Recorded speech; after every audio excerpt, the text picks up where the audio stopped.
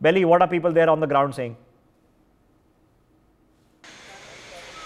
Yeah, we are here at uh, uh, the BBMP uh, uh, uh, Shishu Kendra school uh, here in Vyalika. Well, So I have a, a voter here waiting uh, for uh, giving her reaction after she had vo- uh, voted. Uh, ma'am, what are the issues that you think uh, that uh, you you come here to vote?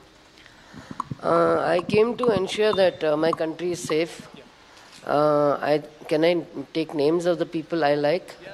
Yeah, I believe uh, uh, Modi ji is doing a great job and I do not want it any other way. I rather pay 10 rupees more for petrol, I rather pay 10 rupees more for thing rather than have any other country invading my country or the country being sold for. Uh, people have been taken granted for too long and now people have woken up and uh, we want to see this change Okay. and uh, I'm, I'm actually traveling all over right now. I ensured that I came back to Bangalore last night to vote today and again traveling tomorrow. Okay. Or Belly would love to hear uh, as one many of the voices voter as possible. from Bengaluru Yes. South Yeah. that. Uh, Yeah, as many voices as possible. I'm, I'm, I'm, Yeah. I, I So, understand ma'am, uh, that the voting day is drawing to a close, and and uh, uh, yeah, as many voices. Go ahead. I've actually traveled from Canada and I still wanted to make sure that I cast my vote and do my duty to the country. I'm excited to vote and, you know, do my duty.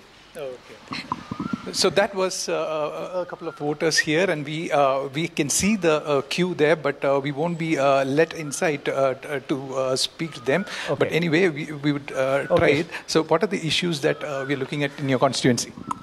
I don't find major issues. Everything is going smooth, I would say. For more such videos, subscribe to the NewsX YouTube channel, hit the bell icon.